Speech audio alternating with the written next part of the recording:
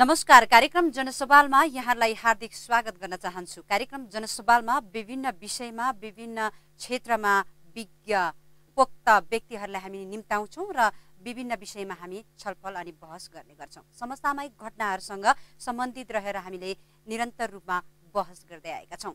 आज भने हामी यस्तो व्यक्तिसँग कुराकानी गर्दैछौँ। विभिन्न पेसामा काठमाडौँमा कार्यरत धेरै व्यक्तिहरू हुनुहुन्छ। काठमाडौँमा मात्र नभनौँ नेपालका विभिन्न ठाउँमा र संसारका विभिन्न ठाउँमा नेपालीहरू पुग्ने गर्दछ। यसै सन्दर्भमा निकै नजिकिँदै गरेको अब एक दिन दुई दिन मात्र बाँकी छ। दसैँ घर घरमा भित्रिसकेको छ र यो दसैँको चाप एकदमै बढिरहेको छ र सहरबाट घरमा फर्किने धेरै व्यक्तिहरू पनि हामीले देख्न पाउँछौँ र दसैँको एकदमै चर्चा यो दसैँको माहौलमा हामी रहेर कुराकानी गर्ने गर्नेछौँ। विभिन्न क्षेत्रमा कार्यरत सरकारी निकायमा कार्यरत व्यक्तित्वहरूको विदा हुने क्रम पनि भइसकेको छ। र यस्तो पेसा पनि छ कि जुन चाडपर्वमा जुन परिवारसँग भेटघाट गर्ने रमाइलो गर्ने समयमा पनि एउटा क्षेत्रमा आफ्नो जिम्मेवारलाई गहन तरिकाले निर्वाह गर्नुपर्ने परिस्थिति पनि हामीले बोक्दै आएका छौँ। भोगिरहेका छौँ। यहाँहरूलाई देशमा के भइरहेको छ विदेशमा के के भइरहेको छ संसारभरिका नेपाल बाहेक संसारभरिका समाचारहरू हामी प्रस्तुत गरेर देश विदेशमा भएका घटनाहरूलाई समेट्ने काम एउटा सञ्चार क्षेत्रले गरिरहेको छ।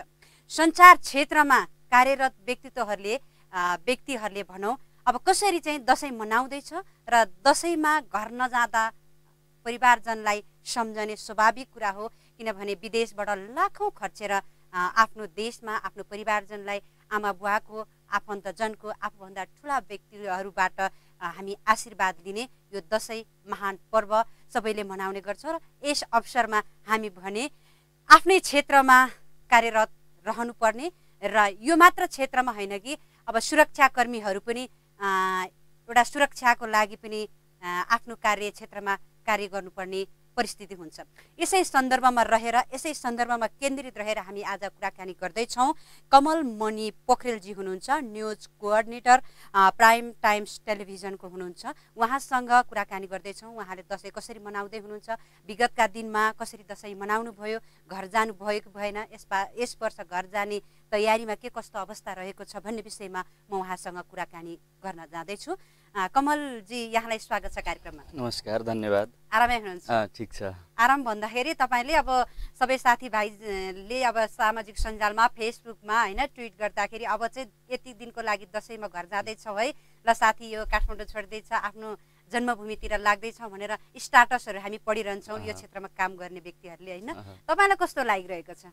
अब पक्कै पनि दसैँमा सबैलाई घर जाने रहर हुन्छ घर परिवारलाई भेट्ने। आशीर्वाद लिने टिका लगाउने होइन?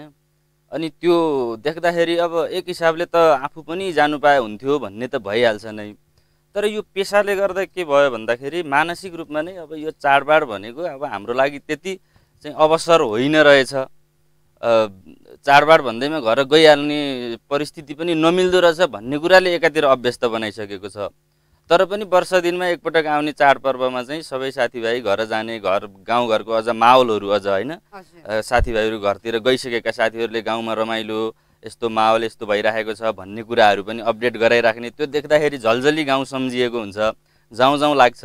तर हाम्रो यो पेसागत बाध्यता पनि छ त्यस कारणले गर्दाखेरि त्यसलाई विगतदेखि नै अभ्यस्त हुँदै आएको हुनाले पेसाप्रतिको जिम्मेवारी बोधका कारणले पनि ठिकै छ भन्ने हुन्छ। अब घर परिवारमा अब अप्रत्यक्ष रूपमा भौतिक रूपमा उपस्थित नभए पनि सम्पर्क गर्ने अब घरबाट गुनासो आइरहेको हुन्छ। दसैँमा पोहोर पनि आएन परार पनि आएन अहिले पनि आउँदैन भन्ने खालको कुराहरू हुन्छन्। घर परिवारलाई कन्भिन्स गराउने। यसरी नै अब यतिखेर समय बितिरहेछ। निरन्तर रूपमा छ वर्षदेखि तपाईँ पत्रकारिता क्षेत्रमा कार्यरत हुनुहुन्छ होइन? रिपोर्टिङबाट सुरुवात गरेर एबी न्युज टेलिभिजनबाट आफ्नो यो पत्रकारिता क्षेत्रलाई करियरको रूपमा अगाडि बढाउनु भएको छ आज प्राइम टाइम्स टेलिभिजनमा हुनुहुन्छ। लामो समयदेखि तपाईँले पत्रकारिता गरिरहनु भएको छ यही क्षेत्रमा पोख्त हुनुहुन्छ। भनेपछि तपाईँले अब यो दसैँ तिहार मात्र नभनौँ हाम्रो लागि होइन? विभिन्न अब जस्तै इलेक्सन चुनाव आउँछ होइन? अर्को चाडपर्वहरू आउँछ। हामी त्यतिखेर पनि हामी जान पाउँदैनौँ। जतिखेर पनि हामी खटिरहनु पर्छ खटिरहनु पर्छ होइन कहिलेकाहीँ तपाईँलाई लाग्दैन यो क्षेत्र चाहिँ यो मेरो पेसा चाहिँ खासमा ठिक रहेन रहेछ? बेकारमा लागि जस्तो लाग्दैन तपाईँलाई? यो पक्कै पनि लाग्छ कहिलेकाहीँ। तपाईँले भने जस्तै अब हाम्रो जुन पछिल्लो निर्वाचन भयो वर्षभरि नै भनौँ न स्थानीय तहदेखि संसदको निर्वाचन हुँदासम्म एक वर्ष त्यो माहौल भयो। त्यो कुनै पनि निर्वाचनमा घर गइएन होइन? यहीँ बसेर तिनै निर्वाचनका समाचार सामग्रीहरू बनाउने चाहिँ जनतालाई देखाउने काममै व्यस्त भइयो त्यस्तै घर परिवार पारिवारिक सदस्यहरूको विभिन्न कार्यक्रम विवाह व्रतबन्ध पूजा यस्ता कार्यक्रमहरू पनि धेरै छुट्छन् गइँदैन होइन? अनि कहिलेकाहीँ लाग्छ चाहिँ अब यसो सोच्दाखेरि अनि घर परिवारबाट गुनासोहरू आउँदाखेरि यो यस्तो पनि हुन्छ यो कहिलेकाहीँ त मिल्नुपर्छ मिलाउनुपर्छ मिलायो भने त जे पनि हुन्छ भन्ने त्यो खालको दबाब पनि आउँदाखेरि चाहिँ अनि यो पेसा चाहिँ नजानेर लागि कि भन्ने हुन्छ यसमा पनि इनफ अब जस्तै अब अरू क्षेत्रमा त यो स्यालेरी कुरा गरौँ। तलबको कुरा गरौँ। भत्ताको होइन। बोनस आउने हुन्छ। यो मिडिया क्षेत्रमा चाहिँ अब कतिपय टेलिभिजनहरूले चाहिँ छ महिनासम्म। अब तलब भत्ता नपाए नपाएको बिहानदेखि बेलुकासम्म होइन। अब जस्तै कुनै देशमा अब एउटा उत्सवमय कार्यक्रमहरू भयो अथवा कसैको अब मृत्यु भयो होइन अब यो राजनीतिक क्षेत्रमा भनेपछि हामी बिहानदेखि बेलुकासम्म अवरात्रसम्म हामी खटिरहनु पर्छ। यस अवस्थामा अब यो तलबको अवस्था हेर्दाखेरि होइन। अब ढुक्क सहित अब म चाहिँ खर्च गर्छु घरै जान नपाए पनि काठमाडौँमै साथीभाइसँग मजा गर्छु भन्ने परिस्थिति पनि छैन नि। छैन। अब यो के छ भने अब नेपालको सञ्चार क्षेत्रमा कार्यरत हाम्रा साथीभाइहरू हामी सबैको समस्या यो एकदम ठुलो समस्या छ। पारिश्रमिकको त्यसपछि पारिश्रमिक समयमा नआउने त एउटा छँदैछ। त्यसमा पनि त यहाँले भने जस्तो दसैँ चाडपर्वका बेलामा अरू विभिन्न निजी संस्था सरकारी संस्थाहरूले चाहिँ अतिरिक्त खर्च बोनस भत्ता भन्ने कुराहरू हुन्छ। हाम्रोमा त्यो हुँदैन। भलै पछिल्लो समय अलिकति सुधार भएको देख्छु म। विभिन्न नीति नियमहरू पनि बनेका छन्। अब पत्रकार अब सञ्चार माध्यमहरूलाई नियमन गर्ने संस्थाहरू पनि छन्। उनीहरूले अलिअलि दबाब दिइरहेका पनि छन्। र केही सञ्चार उद्यमीहरू सञ्चार माध्यम चलाउने हामी भनौँ न अब मालिकहरू पनि अलिकति धेरै नै अन्याय चाहिँ गर्नुहुन्न है। केही हदसम्म चाहिँ हामीले उनीहरूको पिरमर्का बुझ्नुपर्छ भन्ने केही हदसम्म त परिवर्तन हुँदै आएको छ। तर विगतदेखिको इतिहास हेर्दै आउने हो भने दसैँकै बेला कसैले बिदा पायो भने पनि तलब नपाएको अवस्था हुन्थ्यो।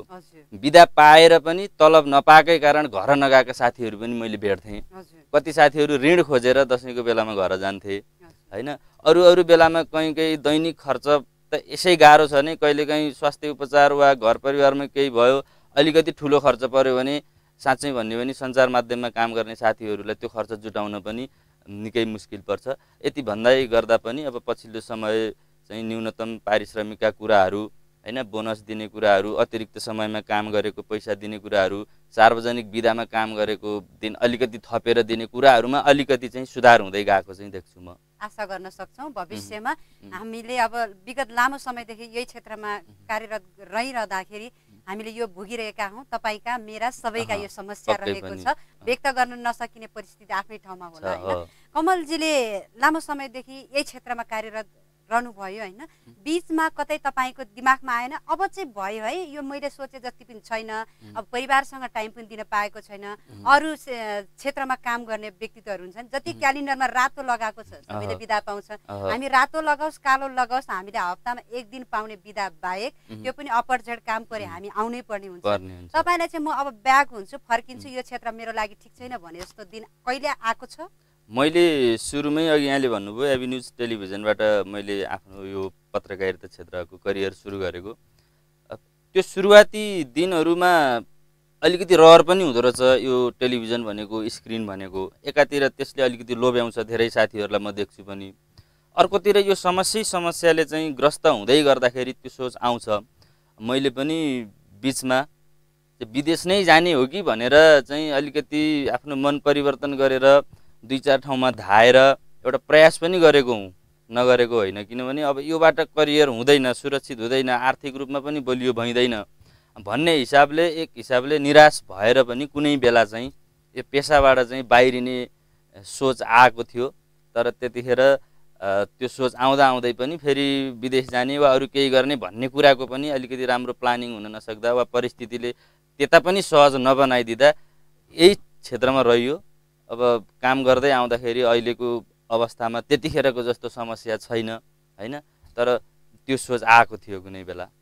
तनहुमा जन्मनु भयो तपाईँले अब काठमाडौँमा अब एउटा पत्रकारिता क्षेत्रमा यो संसार जगतमा तपाईँ हुनुहुन्छ। यो पेसा पनि चान्सुने छैन किनभने संसारभर होइन तपाईँले एउटा सन्देश एउटा म्यासेज पठाउने काममा तपाईँ हुनुहुन्छ होइन? यति हुँदा हुँदै यो दसैँ मनाउनेकै हामी कुराकानी गरिरहेका छौँ? कति वर्षदेखि तपाईँ दसैँमा घर फर्कनु भएको छैन? म अहिले प्राइम टाइम्स टेलिभिजनमा आएपछिको पछिल्लो दुई वर्ष अहिलेसहित दुई वर्ष गइनँ त्योभन्दा अगाडि बिजनेस प्लस टेलिभिजनमा काम गर्थेँ। त्यहाँ हुँदा पनि गइनँ तर तिहारमा चाहिँ गएको थिएँ। दसैँमा चाहिँ लगभग लगातार जस्तै भएको छ जान पाएको छैन। आफ्नो क्षेत्रमा तपाईँ लागिरहनु भएको छ। के कारणले चाहिँ तपाईँ जान पाउनु भएन? अब न्युज डेस्कमा तपाईँले अब एउटा प्रमुख जिम्मेवारी लिएको कारणले हो अथवा होइन छुट्टी नपाएकै कारणले तपाईँ जानु यो मलाई चाहिँ अब अहिलेको स्थितिमा के छ भने प्राइम टाइम्स टेलिभिजनमा अब न्युज कोअर्डिनेटरको रूपमा छु। साथीहरू सबैलाई दसैँमा घर जाने रहर हुन्छ। अनि घर जान चाहनेलाई म आफू त त्यो भोग्दै आएँ। त्यो चाहना छँदैछ भने मेरा साथीहरूलाई चाहिँ त्यो दसैँमा घर जाने परिस्थिति मिल्दा मिल्दै चाहना हुँदा हुँदै अफिसकै कारण चाहिँ नरोकौँ भन्ने लाग्छ मलाई। त्यसकारण म म आफै सोध्छु दसैँमा को को जानुहुन्छ मलाई भन्नुहोस् कति दिन बिदा चाहिन्छ भन्नुहोस् भन्छु होइन। त्यो लिस्ट माग्छु अनि त्यसपछि अब सबै साथीहरूको लिस्ट आइसकेपछि अब बाँकी रह्यो आफू होइन। अनि सबैलाई बिदा ल ठिक छ भनेर बिदा दिन्छु अनि आफू चाहिँ बिदा माग्ने वा बिदा बस्ने स्थिति नै रहँदैन। त्यो एउटा जिम्मेवारी बोधका कारणले गर्दाखेरि पनि त्यस्तो अवस्था आयो। पदे हिसाबले। तपाईँको यो काठमाडौँमा जुन पत्रकारिता पत्रकारिता क्षेत्रमा तपाईँ कार्यरत रहनुभयो नि कुनै सम्झना योग्य दसैँ छ तपाईँको? कुनै क्षण यस्तो थियो है मेरो यो दसैँ चाहिँ यो काठमाडौँ आएर यस्तो भयो भन्ने चाहिँ। स्मरण योग्य भन्नाले त्यस्तो उत्साहजनक त्यस्तो केही छैन होइन? निराशाजनक नै छ भन्नुपर्छ।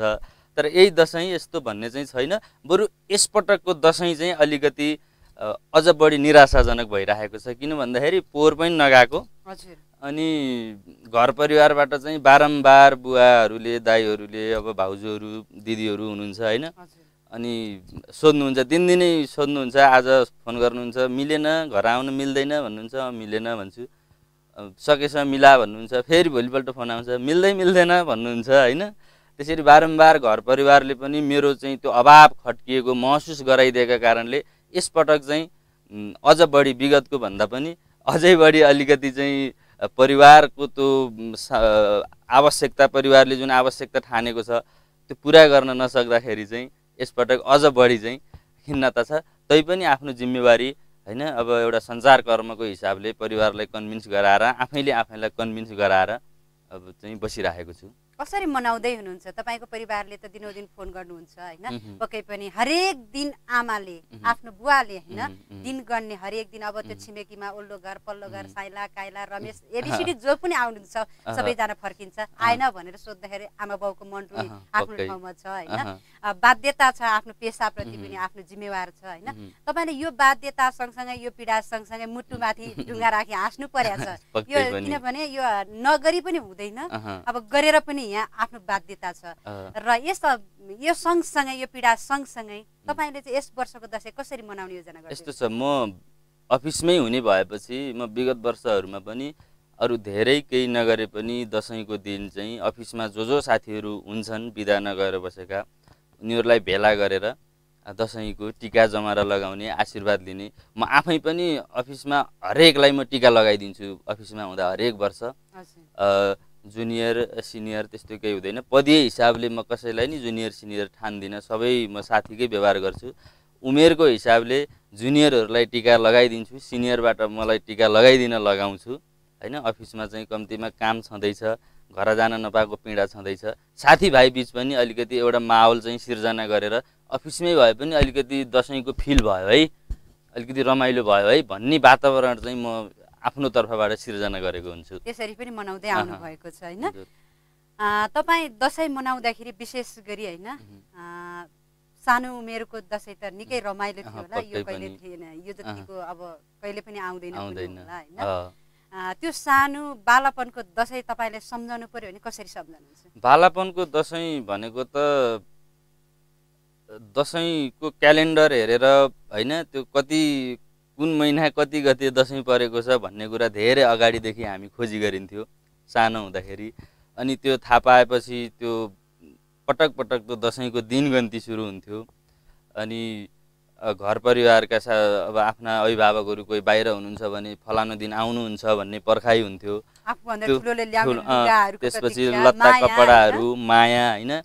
यति दिन बाँकी छ आउन भनिन्थ्यो होइन? त्यो खालको एउटा पर्खाइ हुन्थ्यो। त्यसपछि दसैँ आएपछि घरमा चाहिँ जमरा राख्ने दिनदेखि अब दसैँ आयो भन्ने फिल हुन्थ्यो। त्यसपछि स्कुल स्कुलहरू बिदा हुन्थ्यो। अझ त्यतिखेर त पन्ध्र दिनै बिदा हुन्थ्यो हामी बाल्यकाल हुँदाखेरि होइन? त्यसपछि गाउँमा पिङ बनाइन्थ्यो। पिङ बनाउन आफै दौडिन्थ्यो होइन? दाईहरूसँग सानो हुँदा अलिक ठुलो भएपछि आफैले पनि गरियो। त्यो गाउँघरमा त असाध्यै त्यो दसैँ भन्ने बित्तिकै असाध्यै राम्रो माहौल। दसैँ त्यसै आयो जस्तो हुन्थ्यो। होइन त्यो वातावरण पनि दसैँ नै हो कि जस्तो लाग्थ्यो कि त्यो सानो हुँदाखेरि। तिहारमा धेरै व्यक्तिहरू चाहिँ काठमाडौँ छोड्ने हुँदैन होइन। दसैँमा चाहिँ काठमाडौँ बाहेक अब विभिन्न ठाउँबाट विदेशबाट पनि आउने गर्छ नि। स्वाभाविक नै। रमाइलो हुन्छ।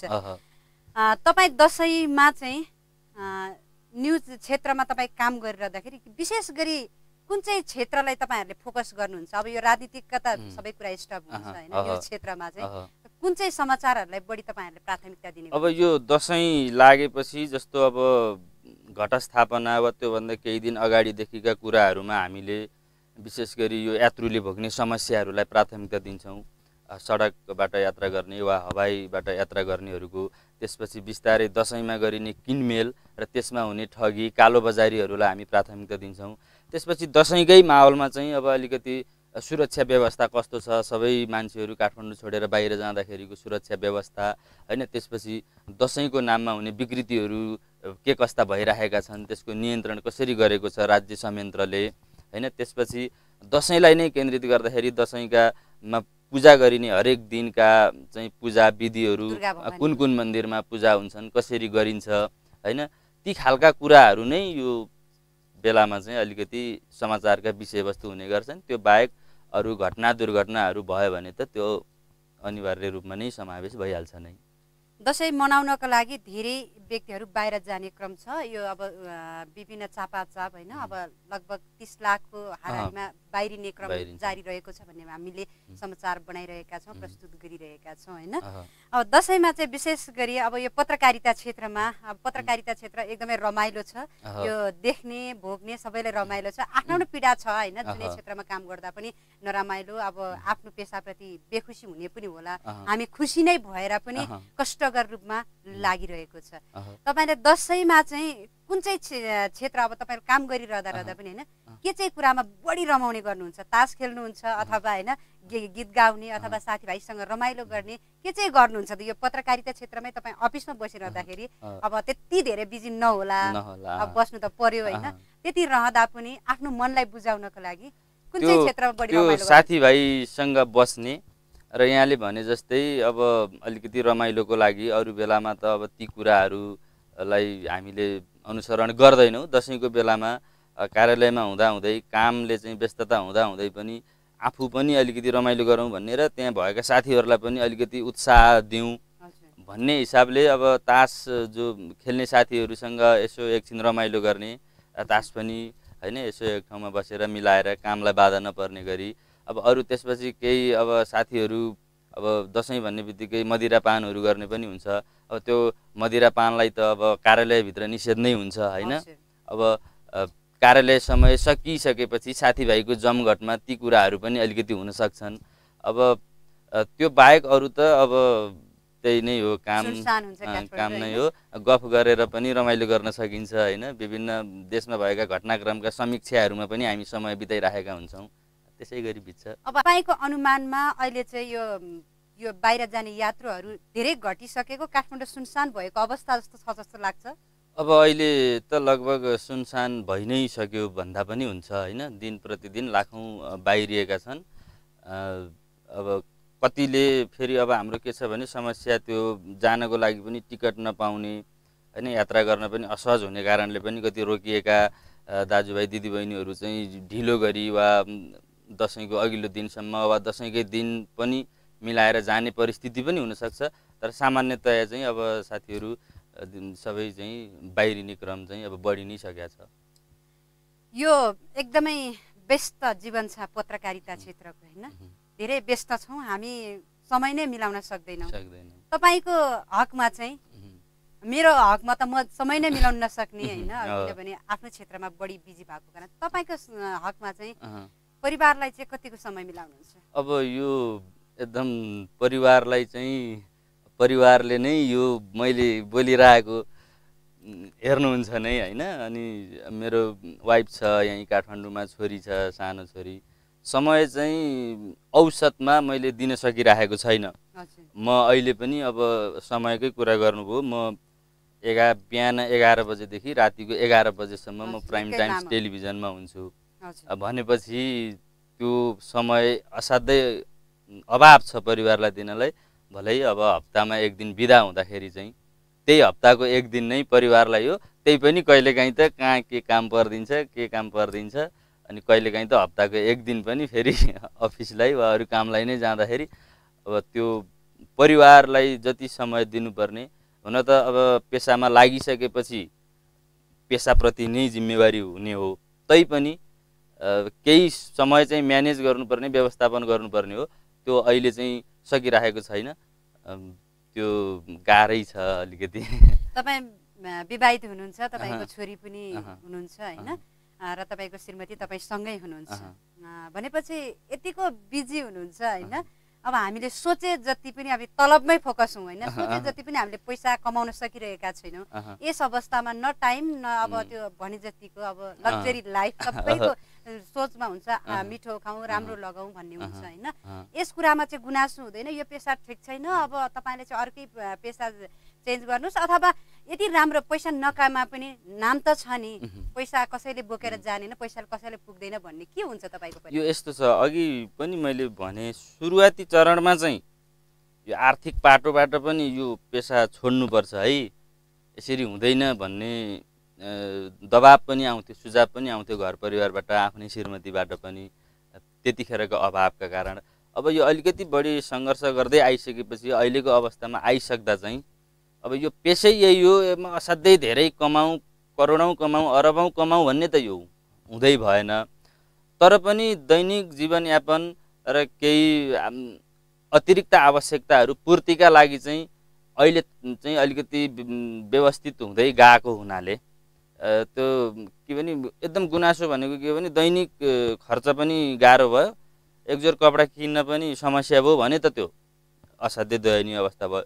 त्योबाट अलिकति माथि उठिसकेका हुनाले र एउटा चाहिँ कन्भिन्स गराएर सम्झाएर जहाँ गरे पनि यस्तै हो। ठिकै छ नि त। बिस्तारै हुन्छ भन्ने खालको समझदारी पनि गर्नुपर्ने हुन्छ।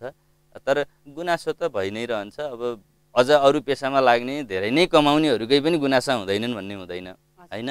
मान्छेलाई जति भए पनि पुग्दैन। पहिला आफू सन्तुष्ट हुने र त्यसपछि परिवारलाई पनि पैसा जति भन्यो त्यतिले सन्तुष्ट होइन कि एउटा विचारले होइन सम्झाउने तरिकाले पनि अलिकति चाहिँ त्यो सम्झाएर वातावरण राम्रै बनाउन सकिन्छ। आदरणीय दर्शक महानुभावहरू हामी कुराकानी गरिरहेका छौँ अ, कमल मणि पोखरेलसँग।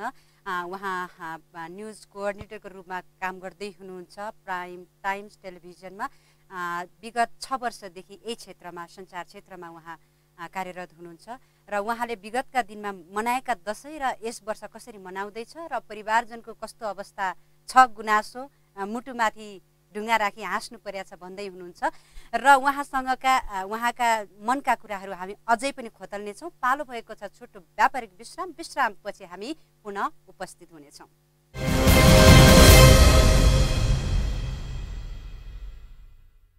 हजुर यो छोटो व्यापारिक विश्रामपछि पुनः स्वागत गर्न चाहन्छु। कार्यक्रम जनसवालमा हामी दसैँ विशेषमा केन्द्रित छौँ। दसैँमा कसरी चाहिँ दसैँ मनाउँदैछ र हुनेहरूले रमाइलोसँगै मनाउला होला नहुनेहरूले आफ्नो गच्छाअनुसार दसैँ मनाउने चलन रहेको छ। यो आफ्नो आफ्नो भोगाई र आफ्नो आफ्नोसँग मनमा रहेको कुरा रहेको छ।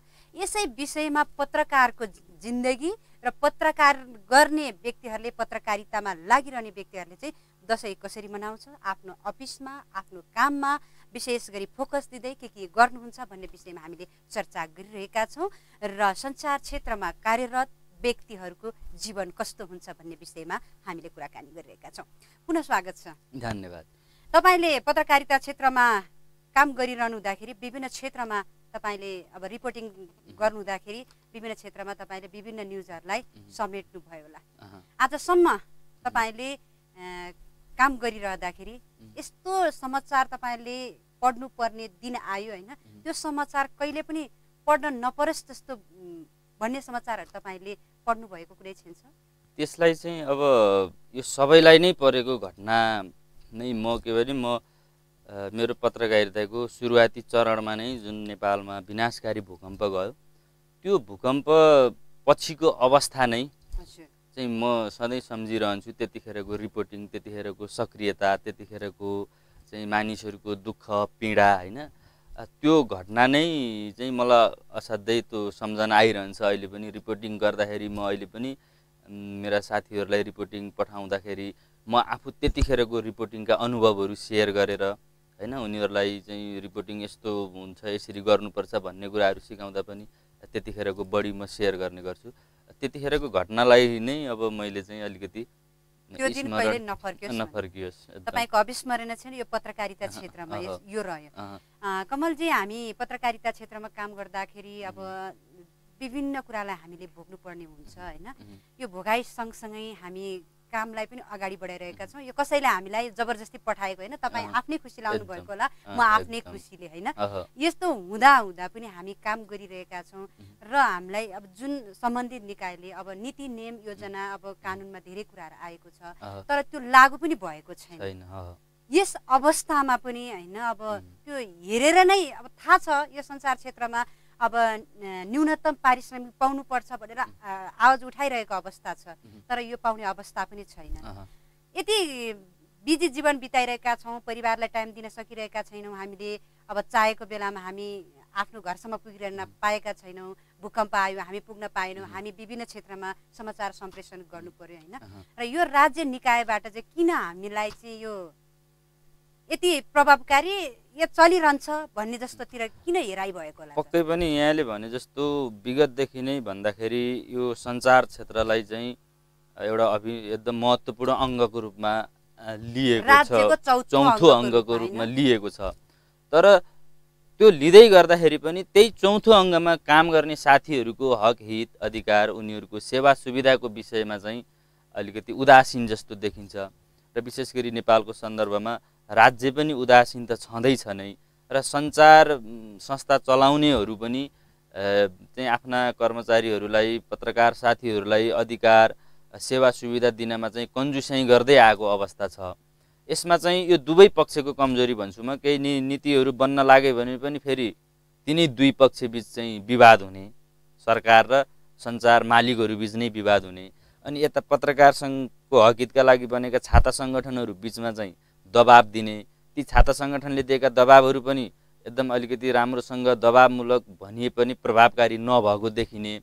यो खालको समन्वय नहुँदाखेरि चाहिँ यो क्षेत्रमा चाहिँ अलिकति मान्छेहरूको आकर्षण हुँदा हुँदै पनि आर्थिक पाटोमा सेवा सुविधाको पाटोमा धेरै कमजोरीहरू छन्। समाजमा चाहिँ गाउँघर छिमेकमा चाहिँ यही पेसामा लागेपछि अलिकति इज्जत प्रतिष्ठा पनि छ नभएको होइन।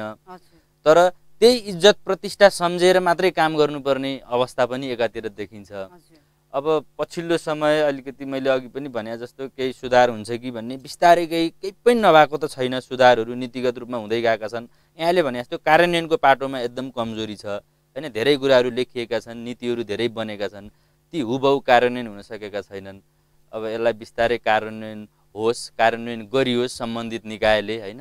यसको लागि चाहिँ म पनि आग्रह गर्न चाहन्छु। अब हामी चाहिँ अब राज्यको चौथो अङ्गको रूपमा हामी नामाकरण गरिरहेका छौँ यो सञ्चार क्षेत्र क्षेत्रमा कार्यरत पत्रकारिता क्षेत्रमा होइन? अब जुन हिसाबले हामी अगाडि बढिरहेका छौँ हामी अहोरात्र बिहानदेखि बेलुकासम्म कुनै कुराको कन्सेसन नगरेर हामी खट्छौँ। तर हामीलाई हेर्ने दृष्टिकोण निकै फरक छ। हामीलाई अब कतिपय अब झर्रो भाषामा भन्दाखेरि पनि हामी झोले पत्रकार। तपाईँले यो भोगाइ छ नि होइन? झोले। पत्रकारको रूपमा संज्ञा दिन्छ होइन? यो अवस्था कहिलेसम्म रहने? यति रहँदा रहँदा पनि हामी काम गर्नुपर्ने। अब के कारणले चाहिँ हामी सबैजना छ नि? धेरैजना। पत्रकारहरू छैन त? धेरै छ देशभरि धेरैजना छ। अब हुँदा हुँदा पनि किन आवाज उठाउनु होला? अब जति तलब छ अब न्यूनतम पारिश्रमिक जति तोकेको छ त्यसमा अब जस्तै आदि नदिँदा पनि त्यसमा साइन गरेर काम गर्छ नि होइन। यसमा चाहिँ कस्तो कमजोरी देख्नुहुन्छ? यसमा चाहिँ के छ भने पहिलो कमजोरी त सञ्चार संस्थाको भयो नै। होइन उनीहरूले चाहिँ राज्यले तोकेको वा नियममा भएको नदिने फकाएर चाहिँ थोरैमा चाहिँ लिखित रूपमा मात्रै कागजी कागजपत्र पुरा गर्नको लागि मात्रै त्यो खालको प्रयोग। गर्ने त्यो कमजोरी त सञ्चार संस्थाको भयो नै। अनि त्यस्ता कमजोरीलाई मिहिन तरिकाले अध्ययन नगरिकन पारित गर्ने राज्यका निकायको पनि कमजोरी हो। यो दुवै पक्षको कमजोरीको चाहिँ शिकार चाहिँ अब त्यस्ता साथीहरू परिराख्नु भएको छ। त्यो मात्र भयो अरू क्षेत्रमा सञ्चय कोषको। सुविधा हुन्छ होइन। विभिन्न तलब भत्ताको सुविधा हुन्छ अब। जस्तै सरकारी एनटिभीमा बाहेक अरू क्षेत्रमा त गाह्रै छ नि भन्नलाई। मान्छेले देख्यो होला ठुलो घर देखेला होइन। अब एउटा ट्याग होला कान्तिपुरमा काम गरे भने ओहो भन्ने होला सगरमाथामा काम गरे ओहो भन्ने होला। प्राइममा ओहो भन्ने होला होइन। तर त्यो बाहेक त केही छैन नि एउटा दसैँमा जुन हुन्छ नि. एउटा एक महिनाको तलब दिनको लागि पनि हामीलाई बोनस जुन छ नि। त्यो त कठिनाइ छ भने होइन। हामीले चाहिँ यसरी चाहिँ कतिन्जेल काम गर्ने अब के को लागि काम गर्ने भने जस्तो तपाईँले कहिले पनि लागेन होइन तपाईँ त्यो लाग्छ। मैले आफै कार्यरत संस्थामा पनि यी कुराहरू उठाइरहेको हुन्छु तर अब हामी कार्यरत संस्थामा यहाँलाई थाहा नै छ। हाम्रो ऋषि धमलाज्यू हुनुहुन्छ टेलिभिजनकै अध्यक्ष उहाँले नै सबै कुरा हेरिराख्नु भएको छ। उहाँ आफै पनि तलैबाट एउटा पत्रकारिताको सङ्घर्ष गरेर आएको व्यक्ति भए हुनाले उहाँले पत्रकारका समस्या समाधान गर्नुपर्छ आफ्नो कर्मचारीलाई चाहिँ अरूले जस्तो गर्नु हुँदैन भन्ने खालको चाहिँ उहाँको मनसाय छ। त्यो खालको प्रयास पनि भइरहेको छ। तर हामीले कुनै एउटा संस्थाको मात्रै कुरा गरेर हुँदैन समग्रमा कुरा गर्नुपर्छ होइन? समग्रमा व्यथिति छ। यो व्यथिति भनेको यिनै सञ्चार संस्था चलाउनेहरूले नै सुरुवात गरेको हो र त्यसलाई राज्यले प्रशय दिएकै हो।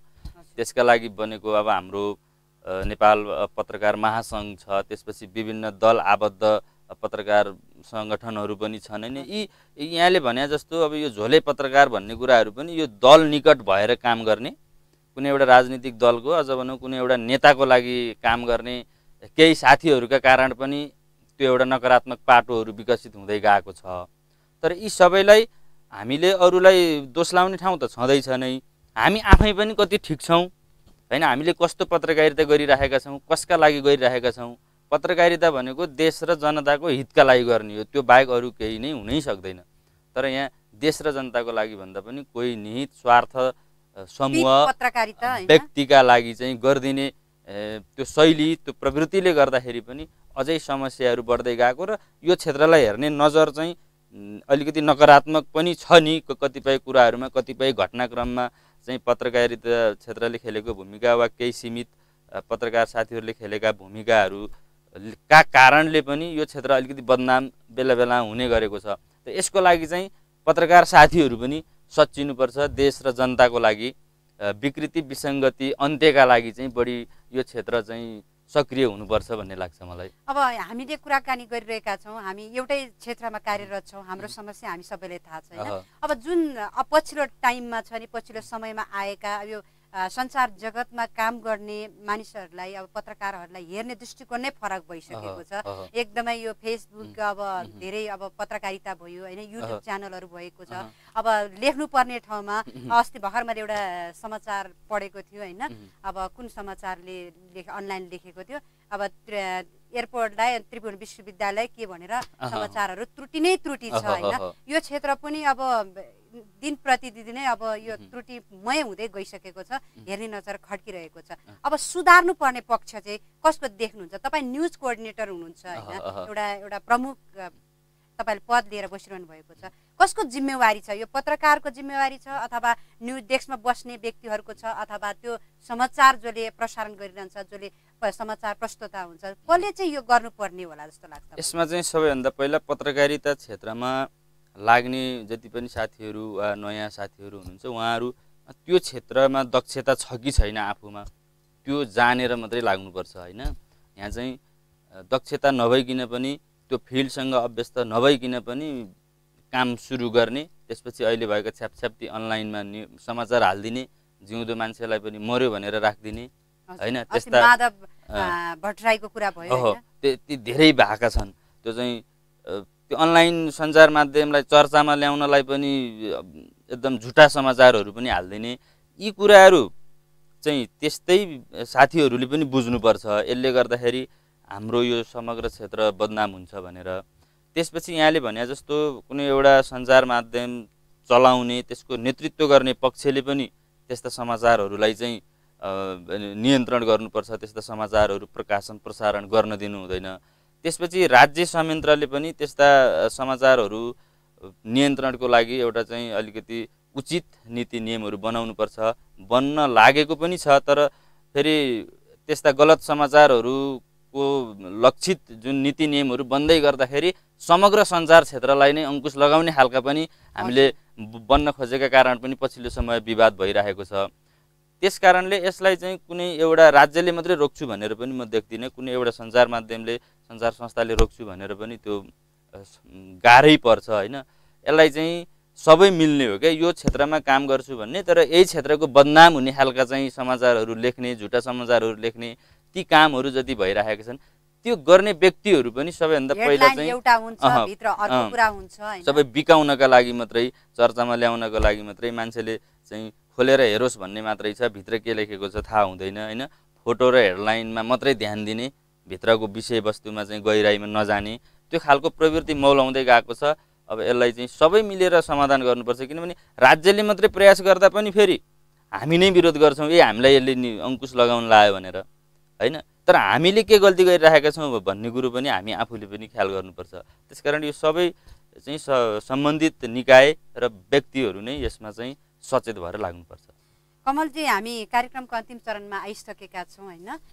तपाईँले लामो समयदेखि काम गरिरहँदाखेरि र यो अहिलेसम्मको अवस्थामा तपाईँ जुन अवस्थामा हुनुहुन्छ अब गुनासो सबैको छ होइन? जो पत्रकारहरू अब यो दसैँमा विगतका दसैँमा होइन? अब आउने दसैँमा बस्नुहुन्छ नि काठमाडौँ उहाँका आमा बुवाहरूलाई तपाईँले भन्नु पऱ्यो भने के सन्देश भन्नु दिन चाहनुहुन्छ? अब पक्कै पनि म सबै आमा बुवालाई नमस्कार गरेर भन्न चाहन्छु। पत्रकारिता क्षेत्र भनेको यस्तै रहेछ। अब कुनै पनि दिन बिदा नहुने।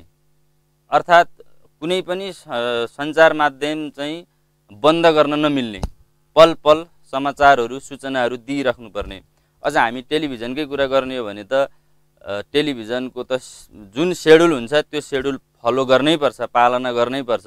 दसैँको दिन छ यो समाचार नबजाउँ भनेर पनि पाइँदैन। यो कार्यक्रम नदिउँ भनेर पनि पाइँदैन। त्यसलाई हामीले सेड्युललाई तिन सय पैँसठी दिन नै फलो गर्नुपर्ने हुन्छ। त्यस कारणले गर्दाखेरि यी संस्थाहरू बन्द गर्नु मिल्दैन। सबै साथीभाइलाई बिदा दिएर घर पठाउनु मिल्दैन।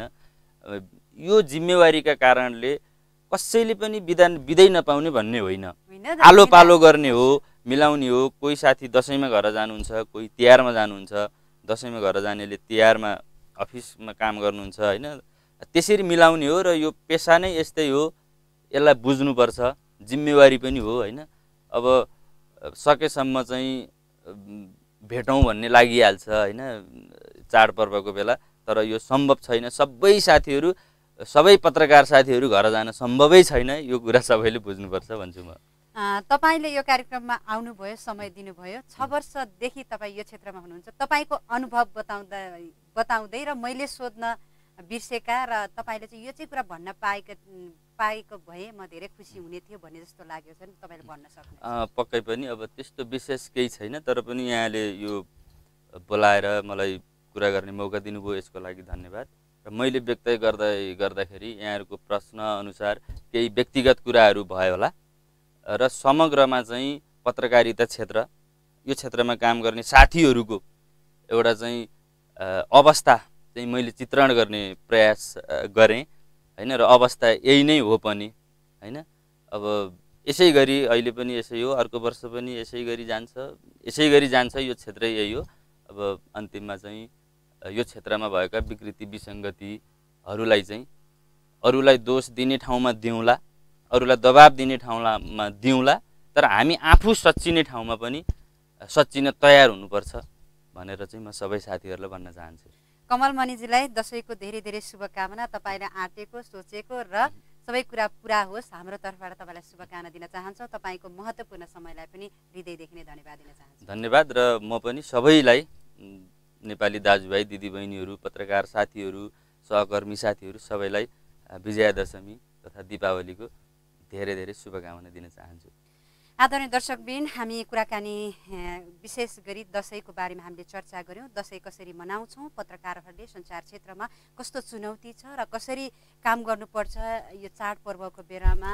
परिवारसँग अब टाढेर बस्नुपर्नेको अवस्था न्युज कोअर्डिनेटर हुनुहुन्छ कमल मणि टाइम टाइम्समा उहाँ कार्यरत हुनुहुन्छ। निकै लामो समयदेखि यस क्षेत्रमा कार्यरत हुनुहुन्छ र उहाँको विगतका दिनका अनुभव र आज गरिरहेका र आउने दिनहरूमा के गर्नुपर्छ पत्रकारिता क्षेत्रमा आफूले आफूलाई कसरी सच्याउनु पर्छ भन्ने विषयमा हामीले चर्चा गऱ्यौँ भोलि यही समय यही बेला हामी उपस्थित हुनेछौँ नयाँ व्यक्तिका साथ। तबसम्मको लागि इन्डिजिनियस टेलिभिजन हेर्दै गर्नुहोला। नमस्कार।